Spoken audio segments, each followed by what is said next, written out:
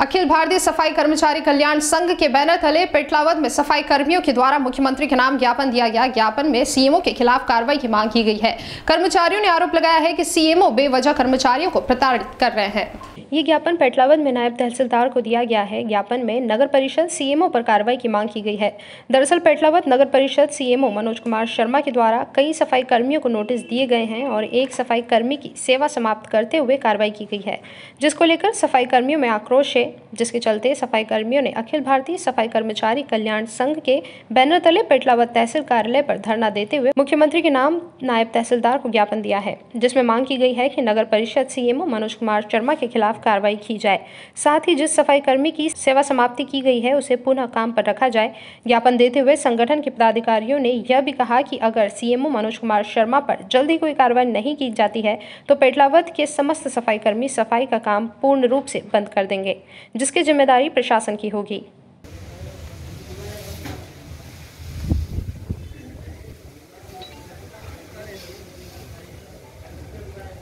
आक्रोशित सफ़ाई कर्मियों के द्वारा नायब तहसीलदार को ज्ञापन देने के बाद वह रैली के रूप में नगर परिषद की ओर निकले और इस दौरान उन्होंने सीएमओ शर्मा के खिलाफ जमकर नारेबाजी भी की।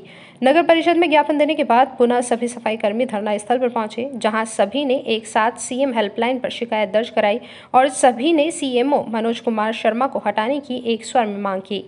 अखिल भारतीय सफ़ाई कल्याण संघ के राष्ट्र सचिव शैलेंद्र खरे ने बताया कि पेटलावद नगर परिषद के सफ़ाई कर्मियों को सीएमओ मनोज कुमार शर्मा के द्वारा प्रताड़ित किया जा रहा है जिससे सभी कर्मचारी काफ़ी परेशान हैं जिनके द्वारा संगठन को इस बात की सूचना दी गई थी जिस पर आज हमारे द्वारा यह धरना प्रदर्शन किया गया। साथ ही मुख्यमंत्री के नाम एक ज्ञापन भी सौंपा गया है। एवं मनोज शर्मा पर कार्रवाई नहीं की जाती है तो जल्द ही संगठन के बैनर तले हम एक बड़ा आंदोलन करेंगे जिसकी ज़िम्मेदारी प्रशासन की होगी।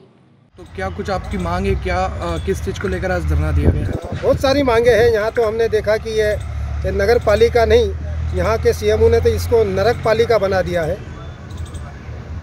काम जो कर्मचारी ईमानदारी से काम करते हैं उन कर्मचारियों के साथ नगर पालिका के जो सीएमओ हैं ये ईमानदारी से पेश नहीं आते हैं। इनकी बातों से लगा है कि मजदूरों कर्मचारियों की कि उनमें इंसानियत कहीं से कहीं तक देखने को नहीं मिल रही क्या कुछ कार्रवाई की मांग कर रहे हैं?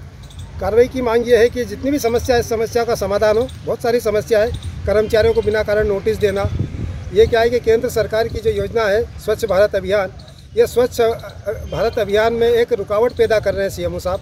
ये कर्मचारियों को बढ़ाने की बजाय ये कर्मचारियों को घटा रहे हैं। उनको काम से बंद करने की धमकी और उनको नोटिस पर नोटिस दिए जा रहे हैं। एक दो कर्मचारियों को बंद भी कर दिया है, सेवा समाप्त कर दी है। ये न्याय संगत नहीं है।